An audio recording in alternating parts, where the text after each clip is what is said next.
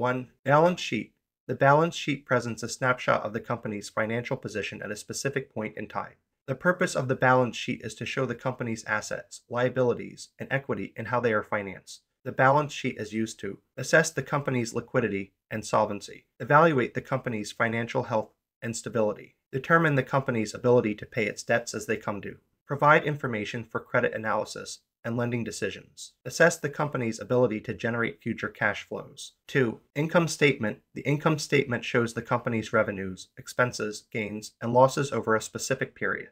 The purpose of the income statement is to show the company's financial performance during the period. The income statement is used to evaluate the company's profitability, assess the company's ability to generate revenue and manage expenses, analyze trends in the company's revenues and expenses over time, assess the company's operating efficiency, provide information for investment and lending decisions. 3. Statement of changes in equity. The statement of changes in equity shows the changes in the company's equity during a specific period, including changes in share capital, retained earnings, and other equity items. The purpose of the statement of changes in equity is to explain the changes in equity during the period. The statement of changes in equity is used to show the company's dividend payments, stock issuances, and other equity transactions. Explain the changes in equity over the period. Calculate and evaluate financial ratios such as return on equity. Assess the impact of share buybacks and other equity transactions. 4. Statement of cash flows. The statement of cash flows shows the company's cash inflows and outflows during a specific period,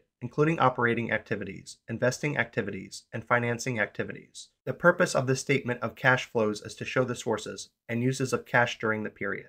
The statement of cash flows is used to evaluate the company's liquidity and cash flow position, assess the company's ability to generate cash from operating activities, analyze the company's investment and financing activities, provide information for investment and lending decisions, assess the company's ability to pay dividends and repay debt obligations,